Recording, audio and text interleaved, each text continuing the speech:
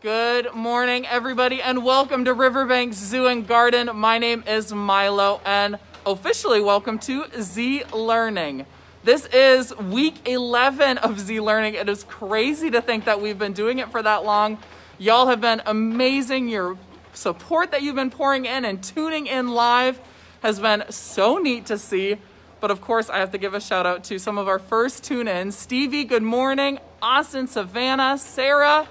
I also have to give a big shout out this morning. You might be noticing I'm wearing a new mask. I actually just got it this last Friday. A Z Learning family who's been tuning in since the very beginning.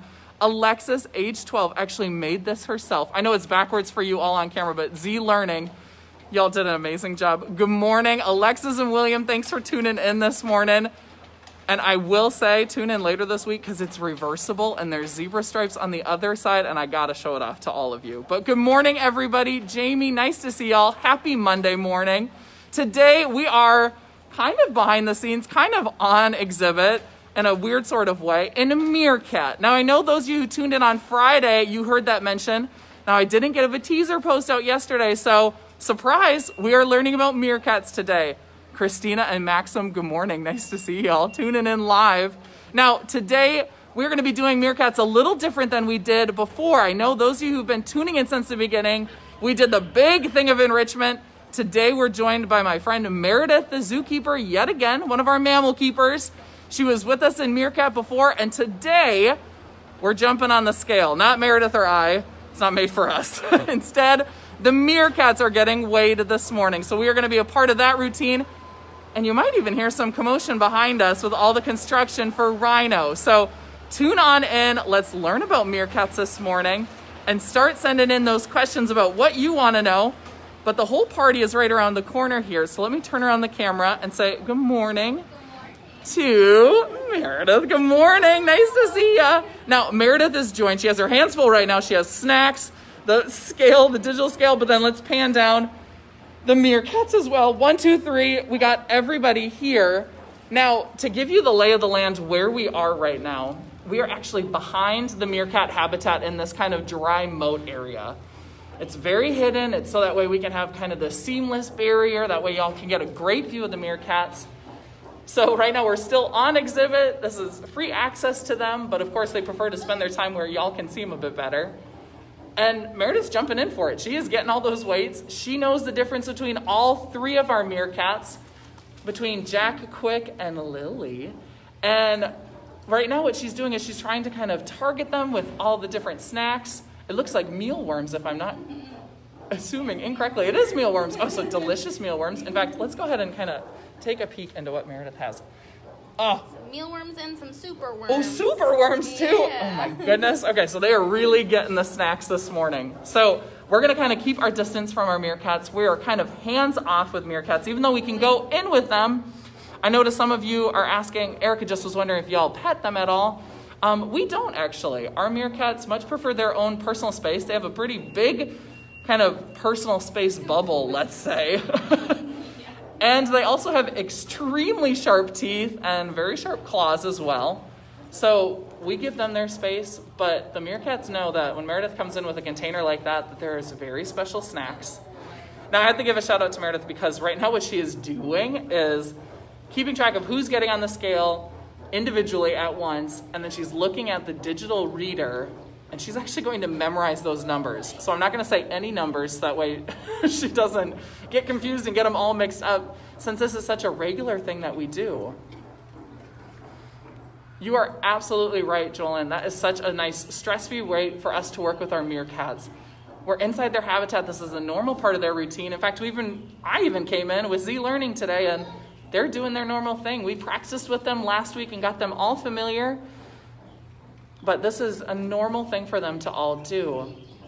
Alexis, William, you're wondering what their names are. So the two brothers are named Jack and Quick, and then Lily is the third. She's the female. She's the little darker one that's furthest away from the camera right now. And Meredith can kind of introduce them a little bit more as far as who is who. So this is Quick right here, who is just on the scale. So Quick is the one who's on the scale right now. So Jack's over to the left. And then Lily's over here on the right hand side. Now, I'll be honest, Meredith's a pro at telling all the meerkats apart. Me, I only know the boys from the girls. And that's not because the boys and, or males and females look different with meerkats. It's truly just because Lily, our female, just happens to be much darker. She has different genetics than the boys, so she kind of has a little bit darker of an appearance. But that's not necessarily normal from males to females. Keep sending. We're not good at sharing, huh? Hopefully, y'all can still hear and see us. Stevie, that is a great question. Where are these meerkats born? So, all three of these individuals were actually born at an accredited zoo. We work together as a part of our cooperative breeding programs.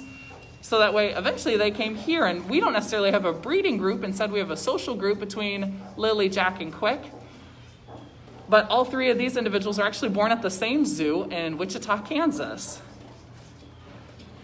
and they are all about the snacks this morning. They could care less about me with the camera. And honestly, you know, Meredith's just kind of there to dish out all the good snacks. It looks like we're running out though.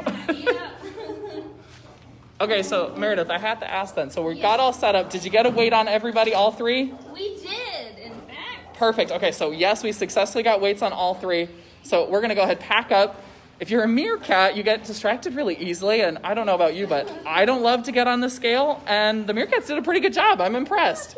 So we're actually gonna follow Meredith out. We're gonna follow the meerkats too. Let me go and turn around this camera quick, because we're actually going to follow them into the main part of the habitat. Because here in a second, Meredith is actually grabbing some special enrichment. Now I know last time we did a whole big ball pit for them. She has something a little different up her sleeves today. So all three of them actually just headed on into the habitat. Let's go ahead and turn around the camera. That way you can all see what everyone's up to. So this is an access area that they can kind of sneak back to if they want to get out of view or kind of explore around, but Meredith is coming right on out. We got two of them over here over our corner still. I was gonna say, they're looking for all the fun snacks now. But we're joined by a very special family. Check out those South Carolina Strong shirts that they're all wearing. They are here for Z Learning today. But Meredith has tubs of enrichment that she just sent out. I see one, two meerkats. Where's our third meerkat? Oh, she is. Okay, good. I was just making sure she wasn't behind me. so we have buckets with straw, it looks like. What else are we doing over here, Meredith? Let's get a little closer so we can hear you. last little bit of mealworms, we're just throwing the last little bit in there so they can forage a little bit. Um, these guys naturally will dig in the sand to look for all sorts of insects and bugs of some sort and worms in the wild.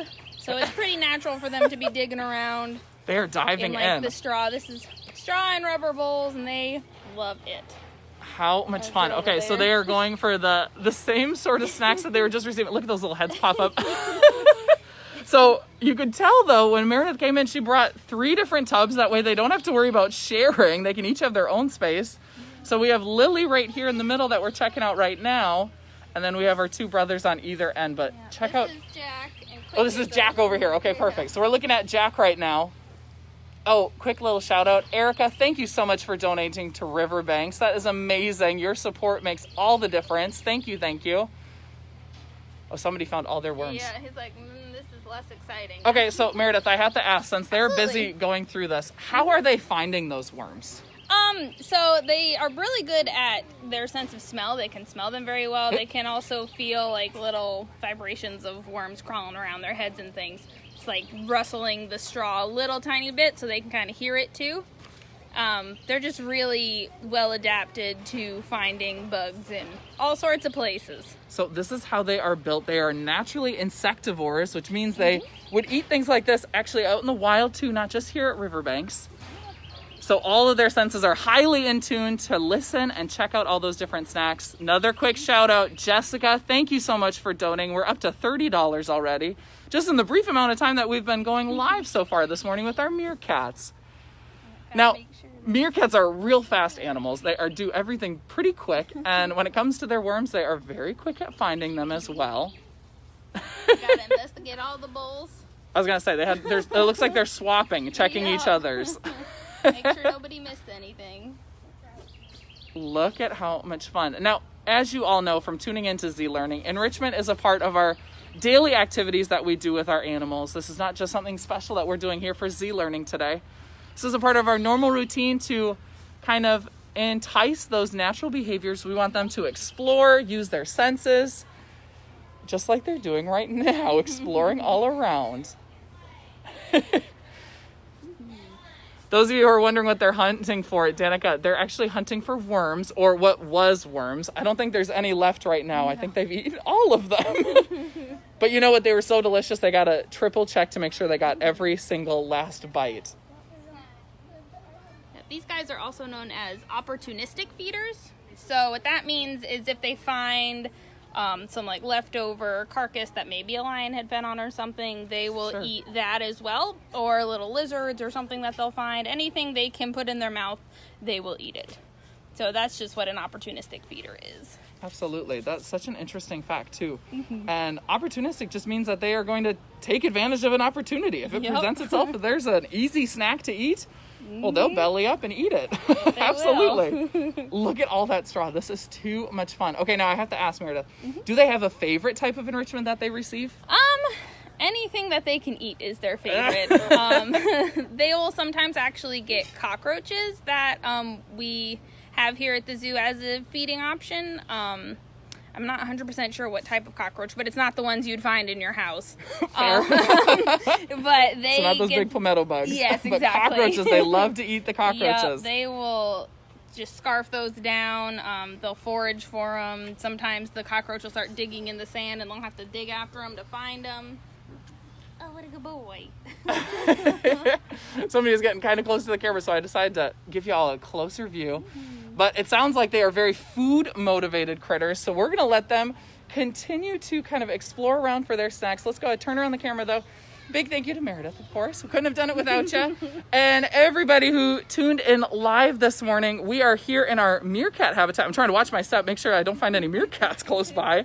Because we're gonna let them continue to do their thing in their habitat. All your questions that you sent in that we missed, I'm going to jump on the comments here in a little bit and start to answer all of them once we wrap up here live for Z Learning. But I wanted to give a shout out for tomorrow. If you have an appetite like a meerkat, join us tomorrow morning at 10 o'clock a.m. as normal because we're going to check out our veggie garden here at Riverbanks and see what might end up on our plates instead. No cockroaches involved, I promise. So we will see you all tomorrow morning at 10 o'clock. And thank you all so much for tuning in live this morning for Z Learning.